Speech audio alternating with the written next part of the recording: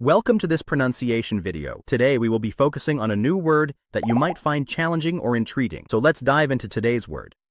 Replies, which means responses or answers given to questions or remarks made by others.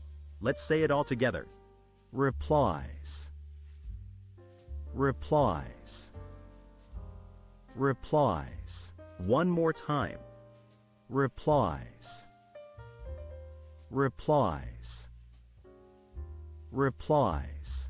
Thank you for joining us on this adventure in pronunciation. Remember, language is a journey, not a destination. Keep exploring, experimenting, and expanding your linguistic horizons. We'll see you next time.